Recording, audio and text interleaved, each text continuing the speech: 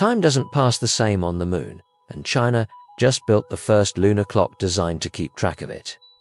On Earth, we take time for granted. But Einstein showed that gravity and velocity literally change the rate at which clocks tick. Because the moon's gravity is weaker, time runs faster there by about 56 microseconds per day. That tiny drift becomes catastrophic when you're navigating landers, rovers, or orbital relays.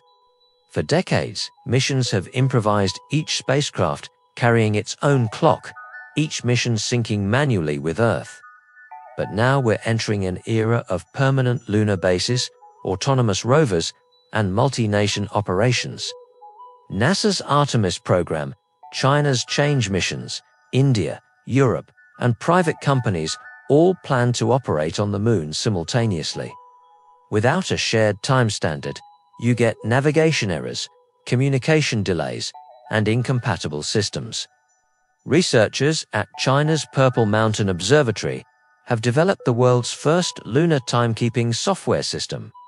It's designed to synchronize Earth time and Moon time with extreme precision, accurate to tens of nanoseconds over 1,000 years.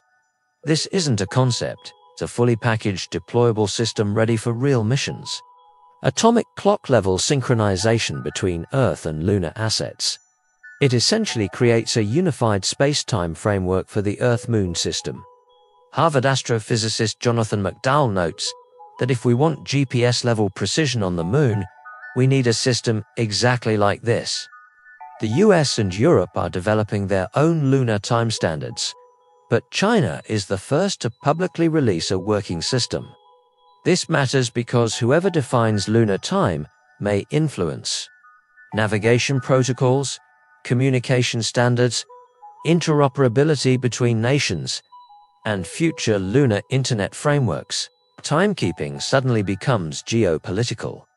The moon is shifting from a destination to a hub, a place for fuel depots, telescopes, communication relays, and eventually human settlements.